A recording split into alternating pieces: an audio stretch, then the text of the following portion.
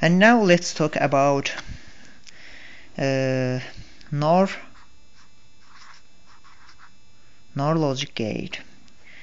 We can assemble and we can contain this logic gate by using two semiconductor diodes and one uh, transistor NPN PNP it's not doesn't matter. And uh, and using four four uh, NAND gates I in last videos I show uh, using uh, NAND uh, NOR gates by using two diode and one transistor but now uh, I, I would like show uh, this by using four NAND elements.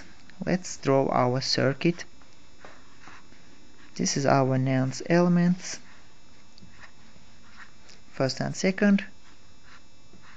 This is third and this is fourth NAND element. We connect inputs of NAND elements like this and give two pins to inputs.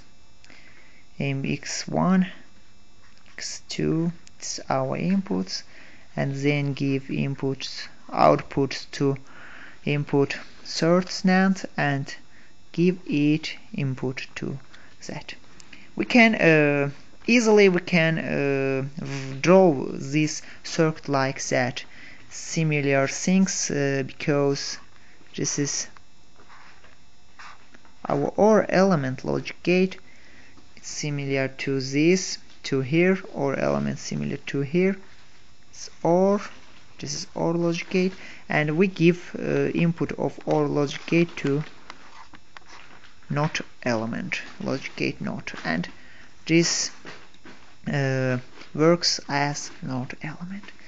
Let's check our the scheme in real and this is our real scheme.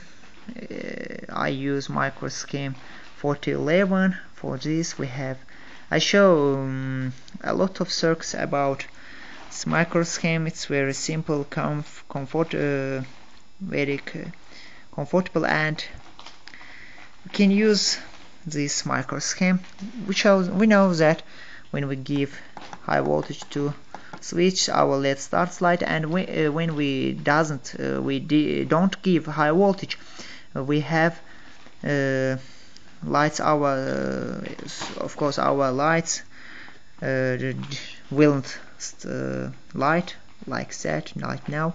But when we give low voltage in output we have uh, when in input we have in output high voltage.